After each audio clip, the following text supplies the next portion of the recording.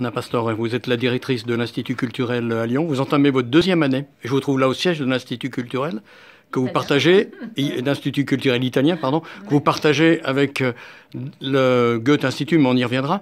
Euh, pour cette année 2019-2020, euh, quels sont vos objectifs? Les objectifs restent encore la diffusion de la langue et de la culture italienne dans, dans la région Auvergne-Rhône-Alpes et euh, en essayant de mettre en, place les, partenariats avec les universités, les départements, les écoles où on apprend l'italien.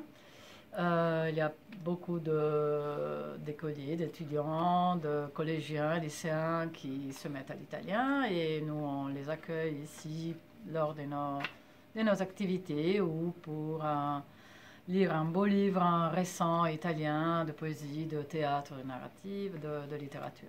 Alors, outre ce qui se passe ici au 18 rue François Dauphin, dans le deuxième arrondissement de Lyon, tout près de la place Bellecour, vous évoquiez justement votre rayonnement Auvergne-Rhône-Alpes.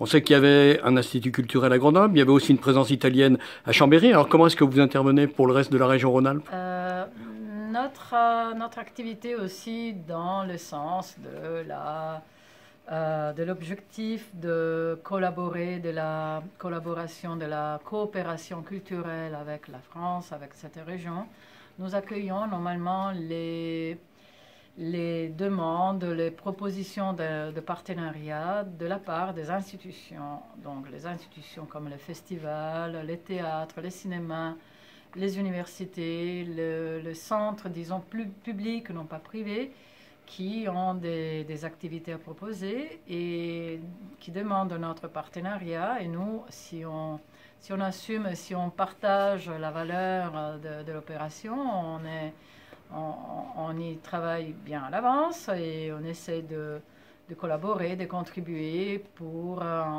notamment où le euh, le défraiement de, de, cachets ou des hospitalités de, pour inviter de, personnes d'Italie, des Italiens forcément. Il faut y avoir toujours la, le côté italien de, toute la manifestation. C'est comme ça que vous êtes en partenariat avec le Festival du cinéma italien d'Annecy. Oui, Annecy. Ou de Montélimar. On est en collaboration et ils nous demandent un partenariat.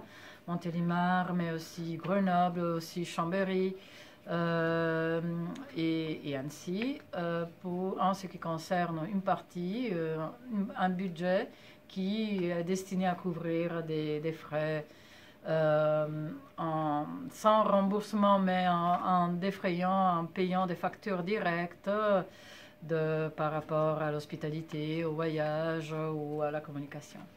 Ultime question. Alors, on évoquait qu'effectivement, vous partagiez vos locaux avec le Goethe Institut qui vous a appelé. On sait que l'Allemagne, l'Italie fait partie des six pays fondateurs de l'Europe. Comment est-ce que vous participez justement à, cette diffusion un petit peu de, de cet être européen? On est bien content d'être euh, les deux pays ici dans une forme, dans une cellule européenne à Lyon. Euh, on est en collaboration avec les autres institutions vers, tendues vers l'Europe. On réalise des activités en commun avec d'autres pays, euh, consulats ou instituts culturels comme OESH, Cervantes, Alliance française ou Pologne, Roumanie, euh, pour réaliser des activités vers qui, ont l'Europe, la, commune appartenance et les valeurs euh, culturelles à partager par des, cycles de cinéma ou des conférences ou des, expositions. Et pour cela, on est constitué sous forme de cluster unique à Lyon, euh, 6-7 pays pour un programme en, commun et que nous réalisons aussi grâce à l'ouverture de nos... Comme pour, par exemple, demain, après-demain, il y aura le vendredi 13 septembre, il y aura la journée porte ouverte que nous faisons en contemporain avec l'Institut avec l'Institut Goethe. Et, on attire et on, partage. On a aussi des, des petites manifestations en, commun lors des fêtes ou des, euh, des projections ou d'expos en commun. Ultime question. Euh, aujourd'hui, la Commission européenne est en train de se renouveler, mais on a senti lors des élections hein, de mai dernier qu'il y a quand même un recul de la population européenne et française vis-à-vis de l'Europe. Alors, est-ce que la culture peut aider justement à faire progresser cette appartenance commune?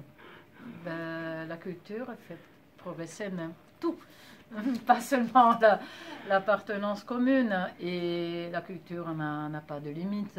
Et s'il s'agit ici, euh, en France, de parler, de diffuser la culture. D'accord, nous, on est la culture italienne qu'on diffuse, mais toujours avec des points en commun, des, des, des, quelque chose qui, se croise toujours avec la France, mais aussi avec les autres pays. La culture est, une valeur hein, qui n'a pas de, de pays. Et, s'il s'agit de permettre à, à l'idée commune européenne de de progresser, de diffuser. Je crois que la culture est un des moyens, mais un des moyens.